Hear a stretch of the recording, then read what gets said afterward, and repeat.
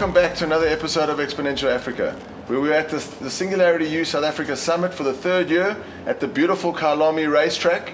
And we are fortunate enough to be sitting with a, an incredible human being, Tilly Lockey. Tilly Lockey's life has been positively impacted by advances in robotics and technology. From the UK, Lockey serves as a true source of inspiration and possibility. She was diagnosed with meningococcal at a young age and sadly lost both her arms. She now has hero arms made by Open Bionics, which are completely 3D printed and fully customizable to suit her needs. Tilly, thanks for being on the show. Thanks for having me. I'm really excited. So, uh, the first time I actually saw you was on a live stream where you were having a conversation with the Dalai Lama. Yeah. And I couldn't stop watching. It was so inspiring to, to, to you know to see how excited he was to meet you Yeah. and just the conversation you guys were having. How was that? It was absolutely insane. Obviously, he's such an inspirational, well known figure. And it was just, I have no words. We were just, they were like, oh, Tilly, we want you to come down to Amsterdam with Singularity U. I've done a couple of events in Amsterdam with Singularity U. And they said, well, this time we're going to have the Dalai Lama there. And I was just shocked because I know who he is. I think everybody know who he is. And then when we went to the venue, we were in this amazing church, the De Nieuwe Kerk.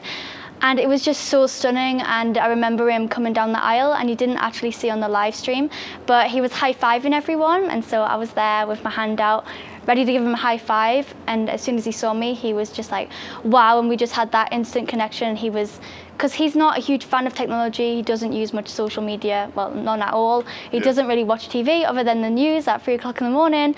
But he saw them, and it was just a really good event where we were talking about how technology can help people and technology and compassion. That was the theme. So it was just a great experience. Yeah, I remember him saying that you know technology can help save humanity. He was very positive about uh, embracing technology Yeah. in the future. Yeah. So let, let's talk a little bit about uh, these hero arms from Open Bionics. How long uh, have you had them, and um, do you want to tell us a bit about them? Yeah, so I got these specific hands in January, and these were gifted to me by 20th Century Fox, and they were gifted to me um, in London. I had no idea about it, and then they told me that they wanted me to go to the world premiere and walk down the red carpet, but it was blue in this case, and I just had no words. All I could say was what, because I was just so amazed and just shocked really. But it was one of the most amazing experiences of my life. I i was shaking with excitement when i was there so yeah i got these ones in january off them so i'll never forget the day where i actually received them but they are inspired by the movie Alita Battle Angel. So I don't know if anyone's seen it, but in the movie, Alita- James Cameron's new movie. yeah. Yeah. Uh, in the movie Alita, she's got like a really cool robot body, and they wanted to replicate them in humanity. So I've got the exact replica of Alita's hand, but for kids in real life. So it's pretty awesome. Yeah, I watched that movie on the plane, and then uh, then I found out the story, and it was like James Cameron is probably you know one of the greatest filmmakers that has ever lived. Yeah. And uh, I think it's it's just extraordinary that you know he came and uh, met with you and, and worked with you on, on, on the movie. Yeah, and he was he was really nice as well. He was absolutely amazing guy. And how do how do your hands how do the arms work? Like uh, So these hands are completely muscle operated. There are muscle sensors on the inside here and here, and they are perfectly sensitive to my strength, my muscles, because that's what they work on at the lab to make it really easy for you, because everybody's different.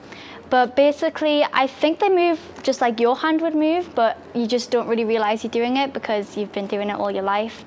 But basically, if I squeeze my muscles, the fingers will close, and if I flex, they will open. And then if I flex again, I'll feel a vibration in the arm, and that tells me that I've changed grip modes. So there were four grip modes in total. So this is just a normal close, like if you're picking up a ball or something. Here is the grasp, and I use that to pick up makeup brushes, pens, longer objects like that. And I also use that as a thumbs up. and then if I press this button here, I have access to the two other grips, and it goes purple. And they are the pinch, good for smaller objects, and then the tripod grip mode. And this is what I would use if I was like holding a fork or something for extra support. I mean, it's really uh, unbelievable. It's, it's really uh, extraordinary. I mean, there's almost like a new language has been created because Yeah. you, you, you, it's, it's like a new user interface. Yeah. And uh, where do you see this going in the in the next couple of years? I have really high hopes for Open Bionics because they're a really start-up company. They've only been going five years and I've been working with them for three of those years. And when we first got with them, they were literally working in like a shoe cupboard and there were only four of, uh, four of the workers there. And there's still I feel like I think all four are still working with them now, but they've expanded so much and they're now in the medical services in a lot of countries like France, Spain, Germany, not England yet, but they're going through the trials at the moment, Yes. and countries like that. And we're trying to expand a lot more. And yeah, there's I think over 100 with them now, and they've just opened a new lab, and they are going to be launching the opening of that lab as soon as I get back from here. So if we can make it, that'll be good. I really hope so. But Amazing. And uh, I mean, you, you since you since you were uh, very young, you've been you've been getting different uh, technologies, different types of uh, prosthetics and Mm-hmm. Yeah. bionics.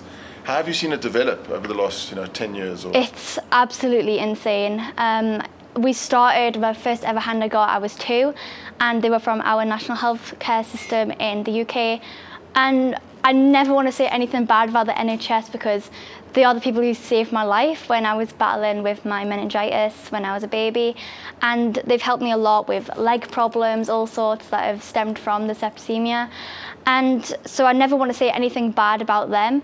Uh, but their prosthetics weren't weren't ideal. I couldn't physically operate it. I was scared of it. I thought of it more of a weapon than a hand. As much fun as it was, like chasing around my sisters, pretending I was Captain Hook or something, they just weren't the best and they didn't help me at all. So we moved on from that, and then ten years down the line, here we are with 3D printed multi-grip hands. It's almost like we're upgrading ourselves as Yeah. humans, and, and, and with the, the, this new type of positioning around the prosthetics, it's, it's you you are, you want to get upgraded. what was classed as a disability is now an advancement and i just feel like that's so crazy bearing in mind what prosthetics were like 10 years ago it's just moved so quick Wow, so inspiring. And I mean, what what is your hope for the future around uh, bionics? i have a lot of hopes for the future. As i said i've got really high hopes for the team. They're doing so well. They're so new. Five years these were made it just makes me imagine what could they be like in another five years. Could they have lasers in the hands? Could they have projectors? Because i was really optimistic when i started working with open bionics i rocked up in the lab with this huge vision board and i was like right i want bluetooth speakers in the hand i want music i want like a personal assistant on in there like um, siri in an iphone. So you'd be like because they couldn't my school couldn't take my hands away from me. That was the, the thinking behind it. So if i was doing like a maths assessment or something i could be like hey siri what's the answer to this question? And no things like that. So i was definitely very optimistic back then uh, but i feel like in five years it's going to happen. And I, I, I think so. I mean, Ray Kurzweil, one of the founders of Singularity University, says that by 2029, uh, the computational power will be so strong we'll connect our brain, our, ne- our neocortex, to the cloud, being able to access information at, at you know really fast Yeah. speeds. So you could it could be exactly the same uh, in your arm or you know in different parts of the body. Yeah. So it's very exciting. yeah it is So thanks so much. We can't wait to see you on the stage Yeah. and uh, and be be uh, here again back in South Africa. yeah Uh, thank we've, you we've run out of time, so I really hope you enjoyed that episode. Make sure to like and subscribe. And uh, yeah, can we have a can we have a handshake? Awesome, that's amazing, eh? Wow, thank you and a thumbs up. Cheers. Keep smiling.